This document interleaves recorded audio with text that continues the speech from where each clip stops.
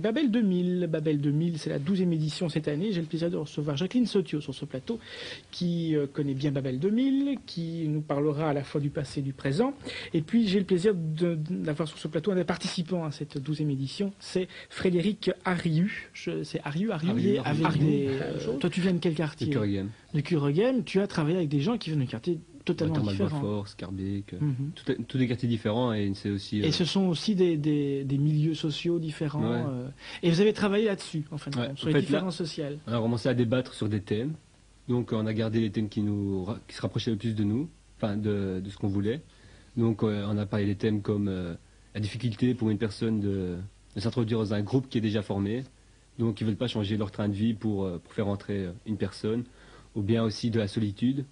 Donc euh, une personne qui ne veut pas s'extérioriser, qui ne sait pas s'extérioriser. Et puis euh, aussi un autre thème, euh, une famille par exemple. On croit que dans une famille tout va bien et au fait on voit vraiment que, que chacun a sa personnalité, il pense vraiment... Ce sont toutes des expériences que, que, vous avez tirées de, de, votre vécu à chacun Entre autres. On, va, on va tout de suite voir un, petit reportage qui a été filmé par Béatrice Van Skendel où on va vous retrouver en images, mais avec d'autres, avec tous les autres, notamment Cécile qui va s'exprimer également et qui, elle, je crois, vient d'un autre quartier. Que, elle ne vient pas de Kuregem. elle, vient, pas de elle, vient de. de. Tout de suite les images, et puis on se retrouve euh, avec euh, mes deux invités sur le plateau pour encore parler donc, de Babel 2097.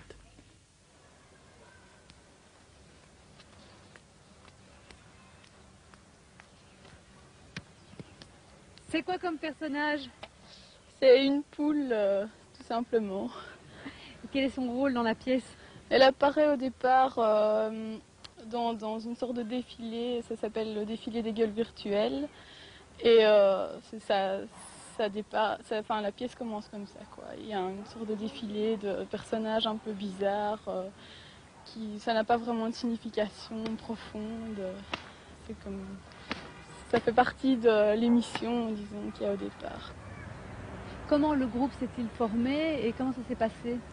Mais au départ, il y a trois personnes, euh, Delphine, Gaëtan et Catherine. Et euh, ils, sont venus dans notre école, moi je suis à Charlie Hansen, et ils sont venus présenter un projet qui s'appelait euh, Scène de la ville quotidienne. Et on a commencé par faire des interviews avec caméra et tout ça de, de personnes dans trois quartiers différents, le quartier des Marolles, le quartier euh, d'Aldescarbec et Boisfort, pour un peu comparer euh, la, vie des, gens dans leur quartier et tout ça. On leur a posé des questions sur, euh, ce qu'ils pensaient, sur la vie qu'ils avaient dans leur quartier. Et après, on a visionné ça, puis on, a fait quelques débats sur la société, comment on s'y sentait. Mais vous êtes ça. Et puis euh, on a commencé par faire des petites impros. Euh, et puis,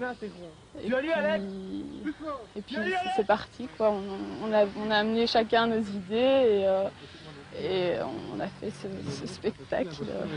Tout ça c'est en même temps. Et toi, souffrirais-tu un instant seulement la vision de ton visage? Et l'autre là? Ombre de celui qui n'a jamais été. Moi, j'imaginais la, pièce assez noire, en fait, même si. Euh, assez abstraite, plutôt dans les corps, dans l'expression corporelle et, euh, pas tellement dans les textes. Euh, donc j'ai apporté des idées, plutôt, plutôt des images en fait. Qu'est-ce que ça t'apporte de participer à ce style de projet? Mais c'est très gai parce que d'abord on rencontre des gens d'un peu partout, c'est des, jeunes de, tout Bruxelles. Et puis euh, j'avais jamais fait de théâtre et euh, j'avais jamais touché à une caméra ni, euh, de, prise de son ni rien. Donc euh, on apprend pas mal de choses, quoi, comment ça se passe, comment ça évolue un spectacle, les difficultés. Puis c'est vraiment c'est dur, c'est très chouette.